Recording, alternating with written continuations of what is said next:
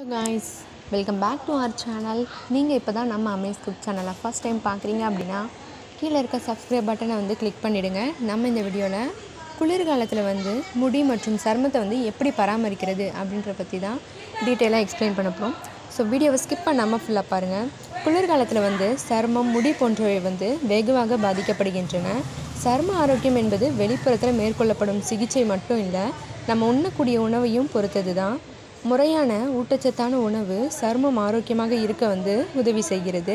குறிப்பாக வந்து சருமத்தின் ஈரப்பதத்தை பராமரிப்பதில் வந்து நீருக்கு முக்கிய பங்கு வந்து உள்ளது. தினமும் உணவில் வந்து அதிக அளவில் பழங்கள் காய்கறிகள் சேர்த்துக்கொள்வது வந்து ரொம்பவே முக்கியம். குளிர் அதிகமாக உள்ள நேரத்தில் வந்து வெளியே போகும்போது வந்து வெம்மை ஆடைகளை வந்து அணிய வேண்டும்.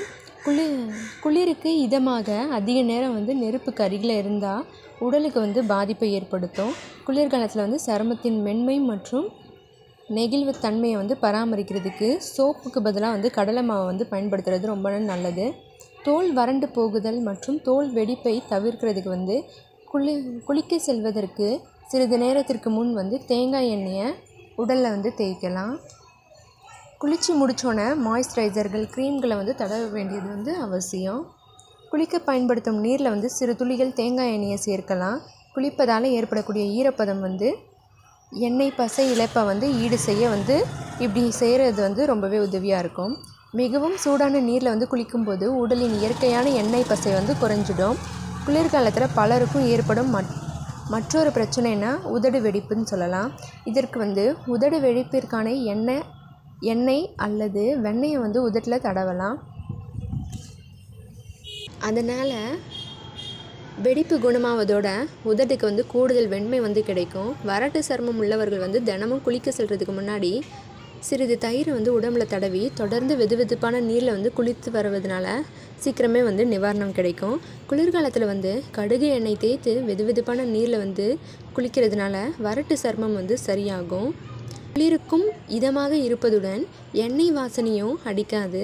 அதே வேளையில் வந்து குளிர்ந்த நீரில் வந்து குளிக்கவே கூடாது. தோலில் சுரக்கும் திரவங்களால் தோல் மென்மையாகவும் ஈரப்பசையுடனும் இருக்கும். ஆனால் குளிர்காலத்தில் ஈரப்பசை குறைவதாலும் உடலில் ஏற்படும் மாற்றத்தாலும் தோல் வந்து வறண்டு போயிடும். சிலருக்கு தோல் வந்து சொர சொரன்னு இருக்கும். தோல் வறட்சி உள்ளவர்கள் வந்து அடிக்கடி நீரில் வந்து உடலை கழுவக்கூடாது. அடிக்கடி கழுவினால் வந்து ஏற்கனவே குறைவாக உள்ள ஈரப்பசை வந்து மேலுமே குறைந்துவிடும். சோப்பு போட்டு குளித்தல் வந்து இன்னும் அதிகமாக வறட்சி ஏற்பட காரணமாகிடும்.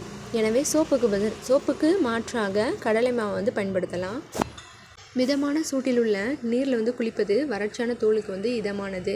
இயல்பாகவே வறண்ட தோல் உள்ளவர்கள் வந்து குளிர்காலத்தில் வறட்சி பிரச்சனைக்கு வந்து சீக்கிரமாகவே ஆளாகிடுவாங்க. இதற்கென உள்ள பிரத்யேகமான க்ரீம்களை வந்து பயன்படுத்தலாம். பாரபின் எண்ணெய் வேஸ்லின் வந்து பயன்படுத்தலாம். மாலையில் வந்து குளிர்ச்சியான நேரத்தில் வந்து கால் உரைகளை வந்து தவறாமல் அணிவது வந்து வெடிப்பின் தன்மையை வந்து குறைக்க உதவும். அதே போல் செருப்புக்கு பதிலாக வந்து கட்சு போன்றவற்றை வந்து இந்த குளிர்காலத்தில் அணியலாம். உணவில் வந்து தயிர் முட்டை மீன் நல்லெண்ணெய் ஆகியவை வந்து அதிக அளவில் பயன்படுத்த வேண்டும். இந்த குளிர்கால பராமரிப்பு வீடியோ வந்து உங்களுக்கு ரொம்பவே யூஸ்ஃபுல்லாக இருக்கும்னு நம்புகிறேன் இந்த வீடியோ உங்களுக்கு பிடிச்சிருந்தா நம்ம அமேஸ் குக் சேனலை சப்ஸ்கிரைப் பண்ணுங்கள் ஷேர் பண்ணுங்கள் மற்றவங்களுக்கும் ஹெல்ப்ஃபுல்லாக இருக்கும்.